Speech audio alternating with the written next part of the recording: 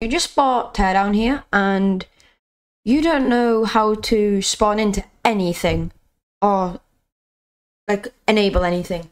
So what we're going to do today is so if you've I don't know installed a map, I'm going to show you how to play the map and how to enable weapons. So to get into a map first and um, weapons, you need to go to Mod Manager and this will give you all your mods you've got here. And if you'll notice some mods will have um, a little circle here.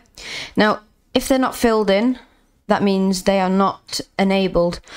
So if they're not enabled they'll look like this. If they're name if they're enabled they'll look like this. Now to get into a a uh, map what you have to do is if you see one with like no circle at all. This is a map. So, and sometimes you can have options and stuff in um, when you spawn in and stuff.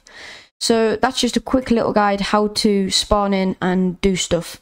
Now, I don't know if you've watched YouTubers and they have, um, they've got weapons. They've got weapons already sometimes, and um, to get all this, you need to go into options, game, unlock all levels and tools if you want.